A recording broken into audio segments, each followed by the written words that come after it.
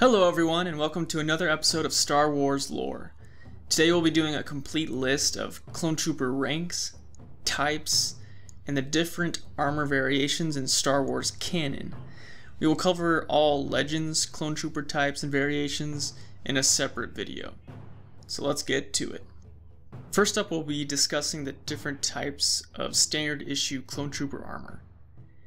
First up was the Phase 1 armor.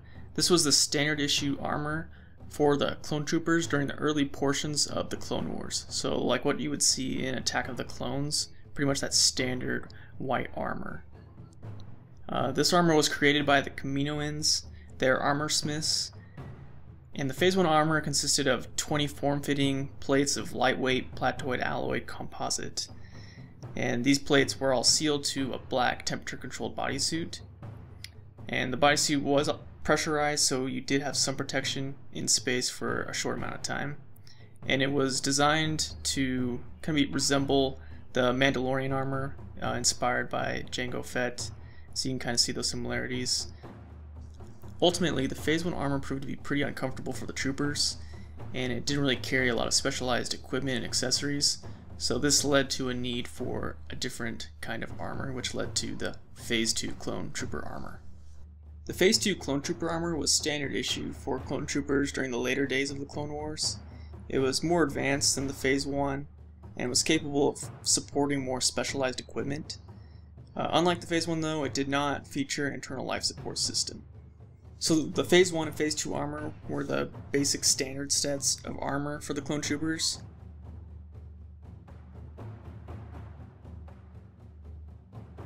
So at the start of the Clone Wars, the rank of troopers were determined by the color worn on their helmet, arm, and shoulder armor, except for a clone cadet, which was just a clone trooper still in training on Kamino. So if you just had the standard white, you had no color features, you were just a standard trooper. If you wore light green, that meant you were a sergeant, so you could command squads made up of nine troops. Blue would indicate you were a lieutenant, so you would command platoons made up of 36 troops. The color red meant you were a captain, and you would command 16 companies made up of 144 troops. Yellow meant you were a commander and could command regiments made up of 2,304 troops. So it's important to note that those colors were pretty much only with the Phase 1 armor. With the development and distribution of Phase 2 Clone Trooper armor, Clone Troopers no longer use those color markings to denote rank. Instead, the color patterns on troop armor uh, signified Legion designation and position instead. Those color designations kind of fell out of use because of the Jedi. They actually encouraged the clones to express their individuality, and so as a result, the clone army gradually adopted a new system which they customized their armor more with those unique color schemes and markings. Here are all the different types of clones and their armor variants in no particular order. The Advanced Recon Commandos, also known as ARC Troopers, were an elite set of Republic clone troopers. They received special training and often served as leaders or were given challenging assignments. They had a unique armor set which was different from standard clones. They had a double-sided pauldron, special belt, and survival gear. Advanced Recon Force Trooper, sometimes shortened to ARF Troopers. They were more intelligent and better trained in survival skills compared to other clones. They wore light armor for stealth and speed, and often rode all-terrain recon transports, ATRTs. A variation of ARF Trooper were those that served on the Coruscant Guard. They would hunt for suspects using an animal called a massiff. Biker Advanced Recon Commando, also called BARC Troopers. These were specialized clones trained to ride the BARC speeders. They wore a modified armor with a helmet that directed attention forward in order to avoid the distractions that could be dangerous while traveling on the speeders at high speeds. A clone gunner wore a helmet with additional noise insulation and a reinforced shoulder and chest armor as safeguards against the kick and roar of cannons that they controlled in battle. A clone ordnance specialists were specialized clones in the Republic. They were also called bomb squads. and they were trained to disarm and dispose of bombs and any explosive device. This was considered one of the most dangerous jobs in the Army, as it required a gentle touch, steady nerves. Besides deactivating bombs, bomb squad members would also have to store and safeguard disabled bombs in hostile war conditions. Bomb squad troopers wore custom orange markings on their armor and an insignia on the left shoulder to signify their bomb disposal role. Clone paratroopers wore modified Phase 2 clone trooper armor. They had a unique circular helmet, and they were equipped with jetpacks in order to safely descend onto the battlefield below. Clone scuba troopers wore a set of white armor that was fitted with six underwater propulsion jets to aid in their movement. To survive underwater, they carried a scuba backpack kit that was equipped with gill grills and a pair of breathing tubes that would circulate the oxygen into their helmets. They also had a special scuba trooper rifle, a double barreled gun equipped with a flashlight. They also wore these white flippers which could be attached to their boots. Their breathing equipment and armor allowed them to survive for extended periods of time in the ocean in battle.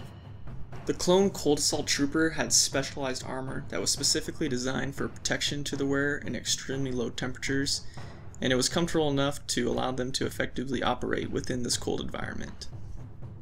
Clone Trooper pilots were bred to pilot the Republic starfighters and the various vehicles that were throughout the Army of the Republic.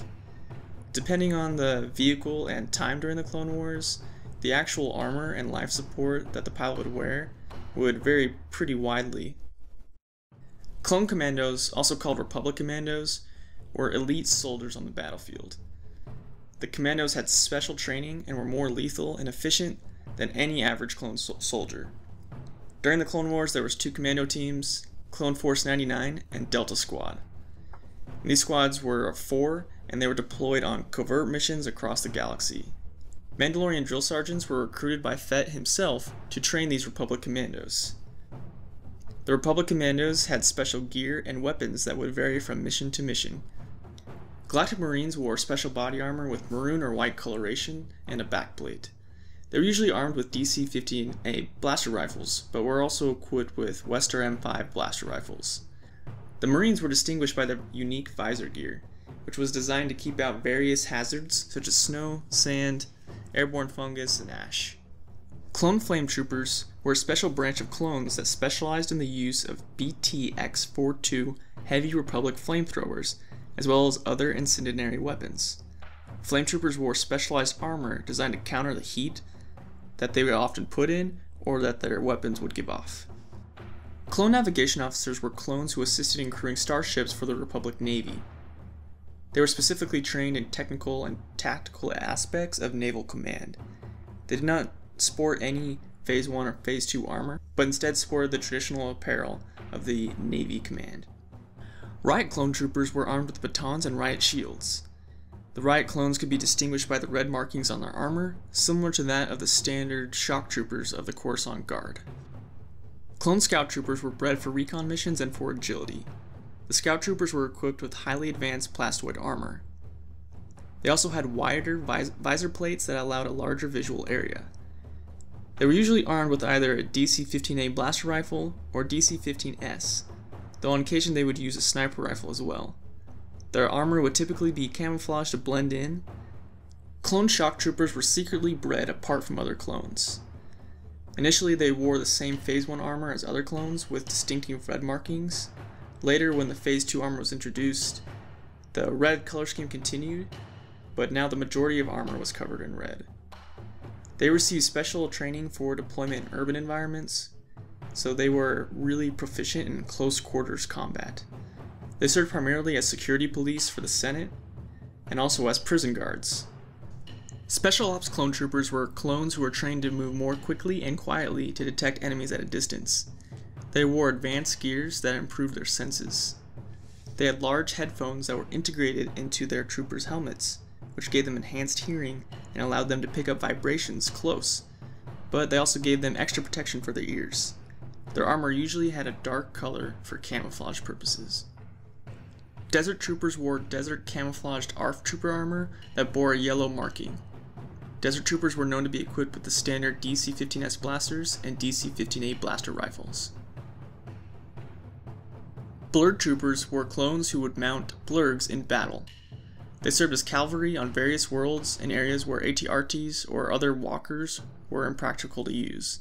The blurrgs were capable of mowing down dozens of battle droids with a single charge. They were standardly equipped with flamethrowers and helmets. Stealth pilots flew experimental ships for the Republic. They had their own unique armor, and were seen in canon with Anakin Skywalker piloting a stealth ship. Clone medics wore the standard armor with a medical insignia on their armor. They carried DC 15S blaster rifles and spare ammunition like other clones, as well as medical equipment. They usually had a laser scalpel, two vibro scalpels, and two laser cauterizers.